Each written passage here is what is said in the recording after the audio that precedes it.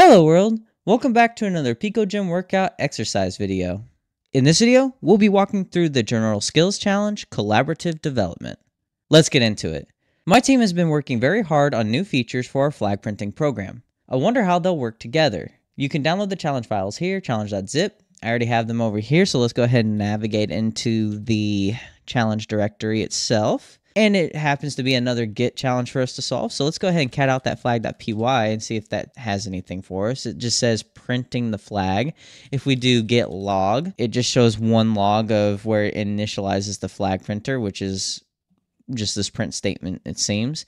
And then we can do git show, and it doesn't show us much of anything when we do that. So, how can we get some more information?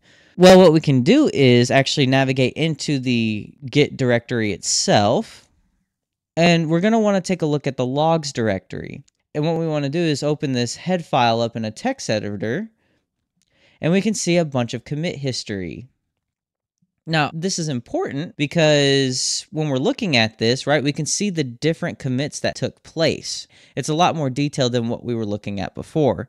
And what we can actually do is we can use git show to show the changes at each of these commits. So we have a part one, part two, and part three here. The initial flag printer is going to be this commit message right here, not the zero, but this commit right here. So we know not to look at that one because we know what that one is. So we want to look at these three other ones instead. So let's take a look at the one that begins with zero here first. And we'll do git show, and then you're just going to paste the commit message ID right there. And we can actually see the first part of our flag, picoCTF teamwork. So now we want to do that for each of the other two commit objects. So here's one that begins with seven. We'll copy that and we'll do the same thing we did before. Git show, then the commit message ID. Then we have the second part of the flag. And then we want to do that with the third part right here, the one that begins with an eight. Git show, third part right there. And then there's the rest of the flag. So what we can do is just kind of copy and paste those into the terminal here to compose the entire flag.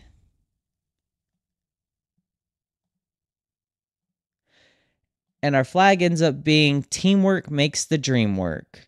So we'll copy that, paste it in, and submit. All right, if you enjoyed the video, drop a like and subscribe to the channel to show your support. Turn on post notifications to get regular injections of cyber content directly into your feed.